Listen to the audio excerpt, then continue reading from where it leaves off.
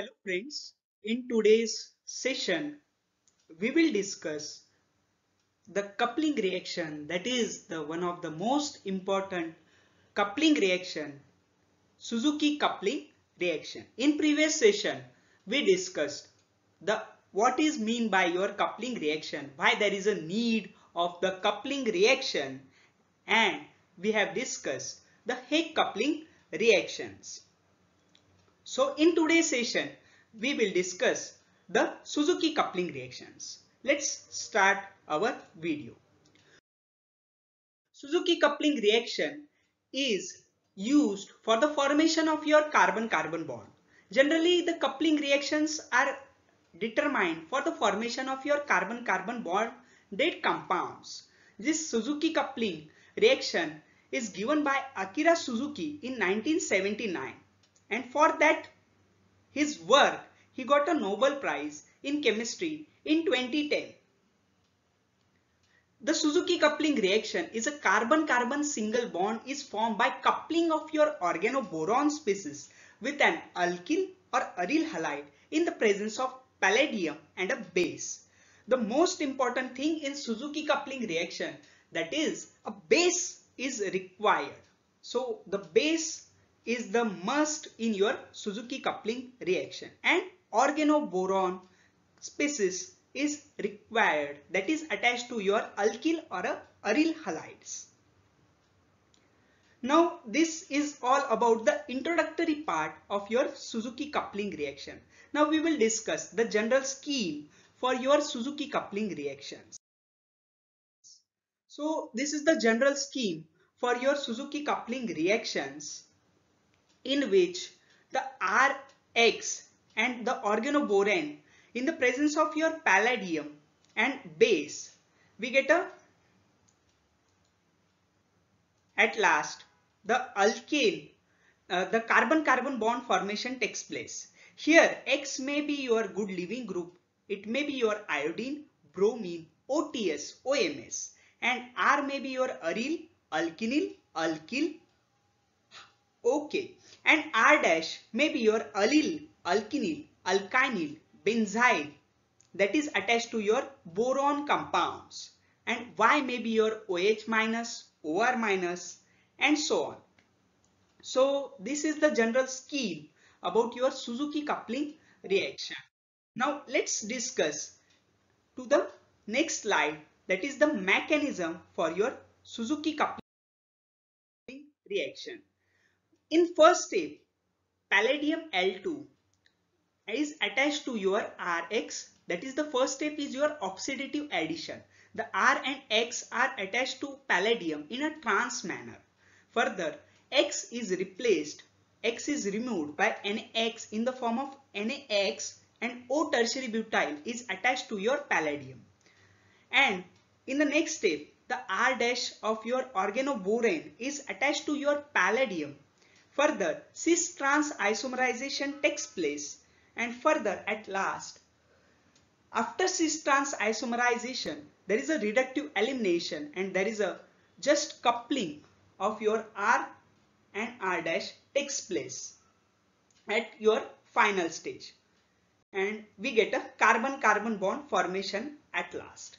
So this was all about your mechanism. Let's discuss towards the next slide. Now the steps involved in the mechanism. So this is the short trick in uh, Suzuki coupling reactions. There are four steps involved. First step is just your oxidative addition. Second is your transmetallation. Third is cis-trans isomerization. And last fourth step is your reductive elimination. For your short purpose, these four steps are involved in your Suzuki coupling reactions. So remember these four steps. In every coupling reaction, these four steps are involved. Let's discuss some examples of, your Suzuki coupling reactions. In first example, this iodine is replaced by your ET group attached to your boron. This ET group is attached at your iodine place. We have used NaOET as a base in first example. In second example, there is a bromine group. It's replaced by your just a this bond is break and there is at last this CC bond formation takes place.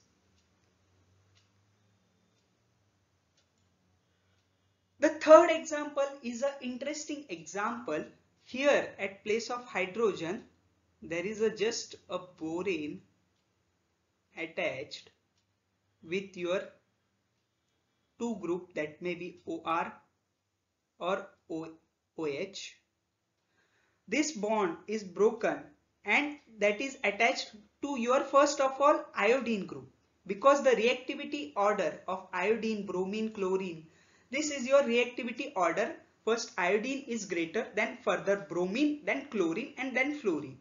So that's why this uh, first bond formation takes place between the iodine and further if we treat with a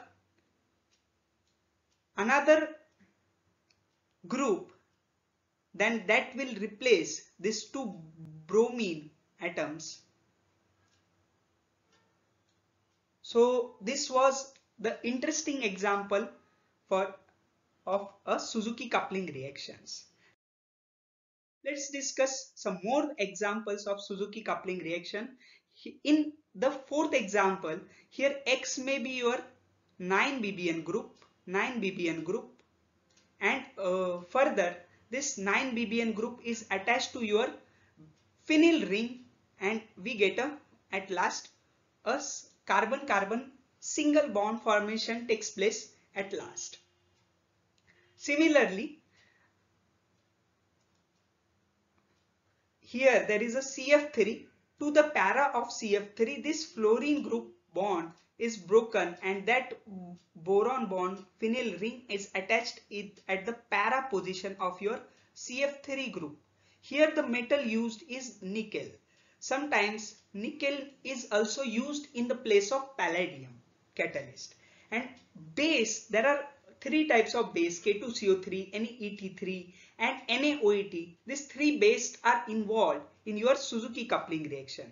In last example, just this bond is broken and that is attached to your phenyl ring of your bromine. Here palladium and base, any base is used and we get this new CC bond formation takes place at last.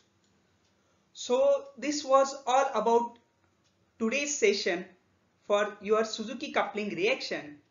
So for more informative videos for your upcoming examination, please